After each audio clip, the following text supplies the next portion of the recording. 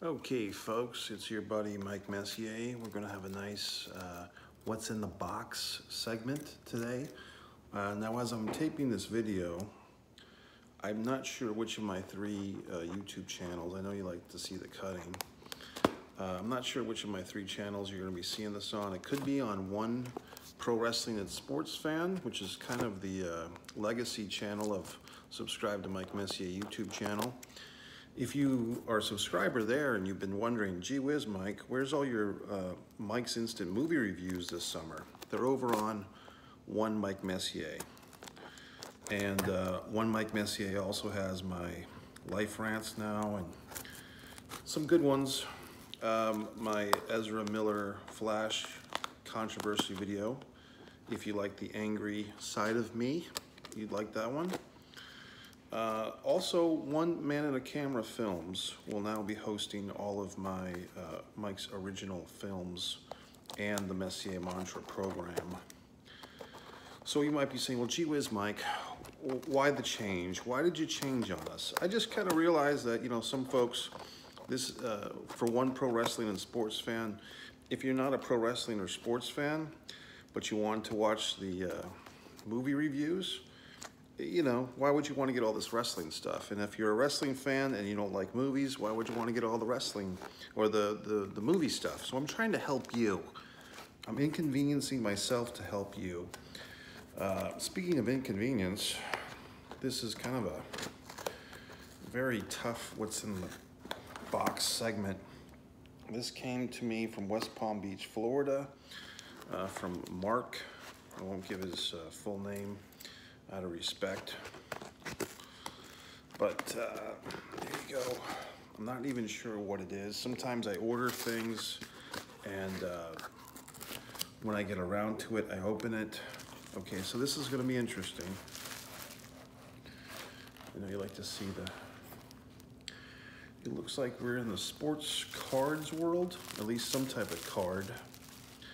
I've had some issues lately because I've ordered cards and they've come to me um, you know, I think this, this, these are kind of packaged the way they were supposed to be.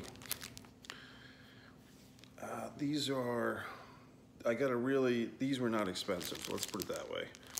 And um, I guess these are probably just not cards that people really care about, but for whatever reason, I was intrigued.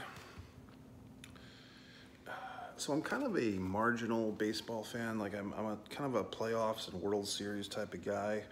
Uh, when I lived in New England for many years, that Red Sox, um, Yankees, 2004, that was a huge deal.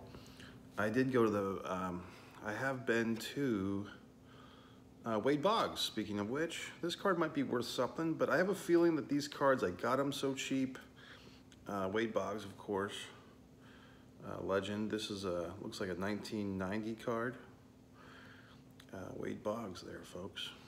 Um, and so I'll, I'll, put this card in a nice, I've got the hard things, whatever you call them, the soft and the hard uh, of the sleeves. Charlie Hogg, if I'm saying that properly. So yeah, you know, I did go to the Red Sox uh, Fenway Park once, and I did go to the New York uh, Yankees, uh, the new stadium, the new Yankees Stadium once. Uh, in fact, in fact, I think I saw the Yankees lose the final game of a, it was a playoff game and they lost and they were eliminated. I want to say that was 2013, perhaps 2014. Kenneth Ray Oberkfell. I was not planning to go through all these cards at this moment, but here we are, we're doing this, it's happening. Um, so if you have any memories or any thoughts on any of these players, you can leave a pleasant comment or not. You know, you can be passive and just look. Uh, but you know, it's, it's really out of obligation to you, the one person who's probably enjoying this video and enjoying these cards, that I'm doing this. You know, I've kind of tapped out. I did uh, try to see that Sound of Freedom movie tonight. Here's an anecdote. The movie started, I thought, at 9.30. I made my reservation on my AMC movie app. Uh, but guess what? I was wrong. The movie actually started at 9.30. I got there fashionably late at 9.40, thinking that I had 10 more minutes of previews, but I was wrong. As I entered the theater, the movie had already started. I went to my assigned seat and somebody was sitting in my chair, okay? So, uh, like the big bad uh, bear or the Goldilocks or whatever the fuck, someone's in my chair. The whole row was full of human beings. Uh, the movie had started. I saw a glimpse of it, a glimpse of the opening credits, like the opening sequence. Everyone was very attuned to the sound of freedom. And I just said, you know what? I'm not going to be that asshole who comes into the movie theater, you know, 25 minutes late and kicks some fuck out of the chair that I, you know, reserved for myself. I have this uh, membership. I'll just go into another auditorium. And this is where I made my mistake. I should have gone, I should have come clean to the young people working at this establishment. They were all probably teenage guys. And I probably said, hey, you know what? I fucked up. I went, I got here too late. Someone's in my chair. I don't want to disrupt. I don't want to cause a scene. Uh, can you just reassign, you know, my ticket here to, to Spider-Man? I want to see Spider-Man again. I should have just done that, but I really didn't want to bother these guys. And I really didn't want to bother myself, more importantly. I just, it was one conversation I did not want to have with a bunch of other human beings to explain myself. Because I know, I mean, my fear, I don't know anything about what could have happened. My fear was that these fucks would have said, oh yeah, well, we'll just go in there and kick the guy out of your chair. And then it's like a whole big goddamn production. And the other thing was there was really nowhere else to sit. You know, in the theater, there was, the front two rows were, were kind of open, but it was pretty packed. And I don't want to be in a packed theater anyway. You know what I mean? So I just went into the Spider-Man. I even, when I went to Spider-Man, it was 9.45. I had, I had already seen the movie, so I had plenty of time to go get a refreshment. I, I and I, I, I ordered the goddamn soda, like the do-it-yourself thing. The kid fucked up and charged me for two sodas. I had to get a goddamn refund. That took more time. I could have explained the situation then, but I didn't. I just went back into the Spider-Man. I had checked the app and there was no one else uh, had bought a ticket for this thing. But when I got in the theater, there was one individual in the auditorium. But he had his row, I had mine, and everything was fine. And so about 20 minutes, I'm watching this Spider-Man movie that I'd already seen. I'm captivated uh, by it. Uh, and then basically, uh, ka-ching, ka-ching, ka-ching, um, the movie stops playing. And I'm thinking, oh Christ, I know what's happened here. The, the, the screen goes black, the fucking house lights come on, the, the screen enlarges. I'm like, what happened here is um, they didn't have anyone on the record for fucking buying a ticket to this thing, this Spider-Man movie. Because I never, I wasn't official, I was off the grid.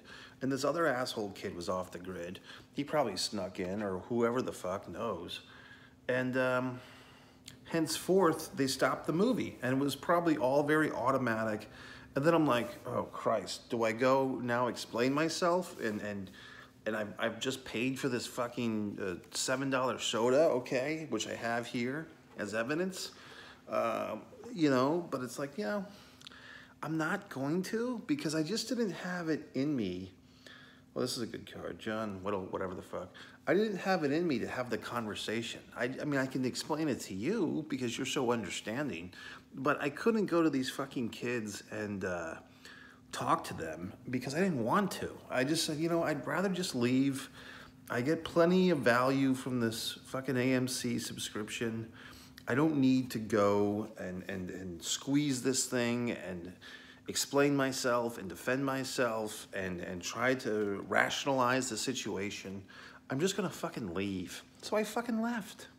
So, I mean, that's what happens once in a while. You just say, okay, you know what, my bad, I got confused. I thought, you know, the 9 fucking 15 movie was 9.30.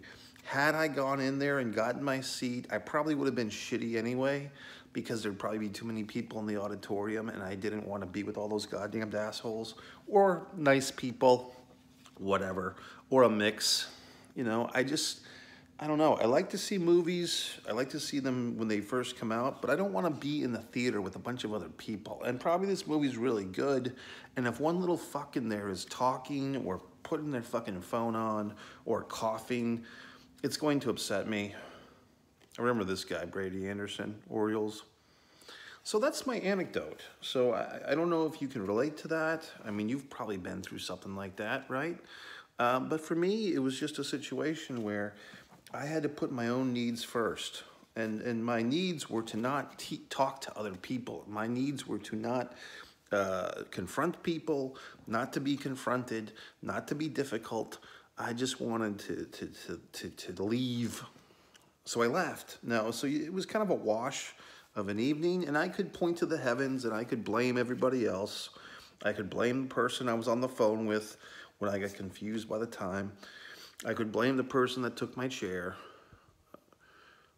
Bo Diaz.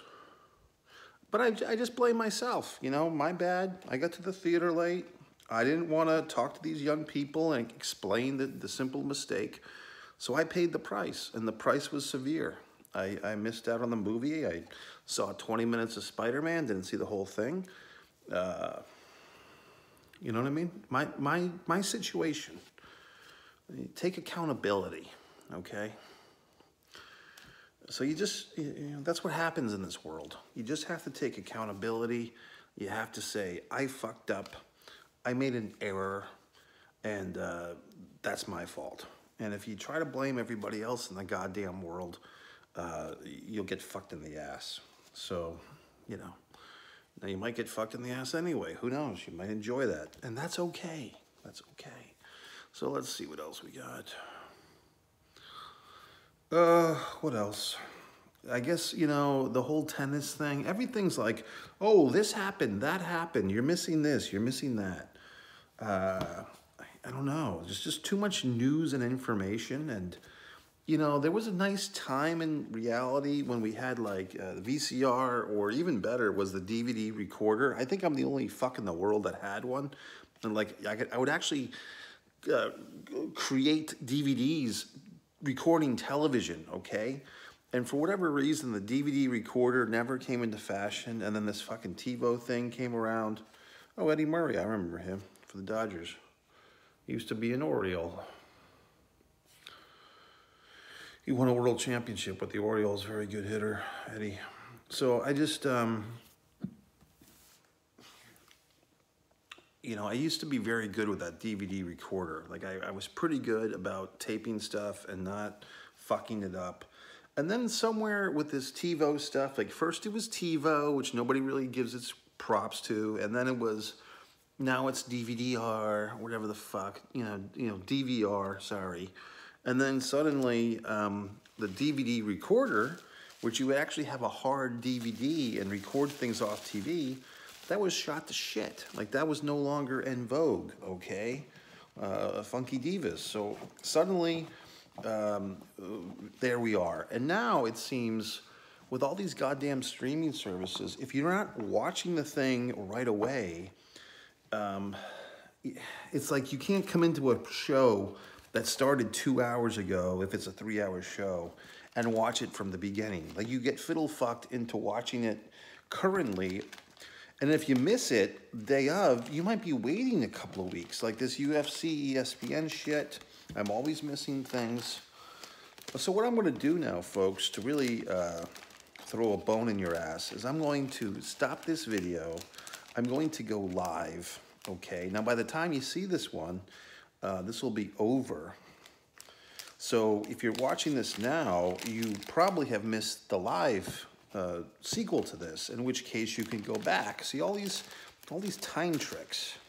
Here's the thing that I hate is like these, see this? This is sticky now. And I want to stick these cards back into the little bag, but I don't want the gumshoe uh, from the fucking bag to get on these cards. And the other thing is, um, am I even adept enough to get these cards into this bag from which they came? And, or do I have to divide the stack? You know, like my father uh, used to have a little piece of advice, which was, if you're eating a sandwich and the sandwich is too big the, to put in your hands, then cut the sandwich in half. He was a big uh, proponent of that activity. And uh, so that's what I'm trying to do with these cards. I'm, I'm taking the task, I mean, I'm actually going to do it in uh, sets of three. Uh, this is very exciting. So there we go. So I mean, I, I've, I've cut the sandwich into thirds and now we're all satisfied. Now we can get on with our evening. So I think I'm going to go live. Uh, so this will be on One Pro Wrestling and Sports Fan. See ya then.